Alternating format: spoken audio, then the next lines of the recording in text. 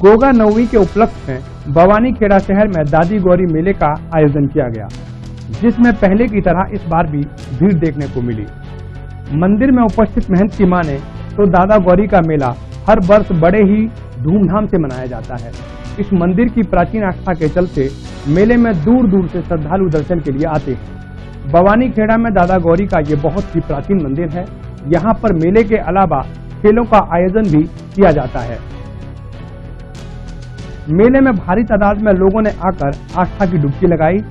वहीं मुख्य अतिथि के तौर पर पहुँचे भाजपा नेता जगदीश मिताथल ने बताया कि मेले में होने वाले महिला कबड्डी खेल ग्रामीण आंचल के खिलाड़ियों को बहुत बढ़ावा देते हैं।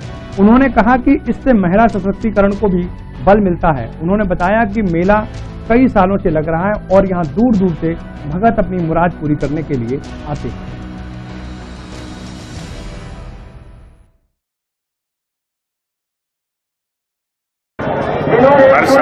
लड़कियों की जो कबड्डी प्रतियोगिता होती है। इस अवसर पर आने का अवसर मुझे मिला मैं सबसे पहले तो बधाई देना चाहूँगा सभी हल्का भवानी खेड़ा के निवासियों को इससे ग्रामीणांचल में जो प्रतिभाएँ हैं वो निकल के सामने आती हैं।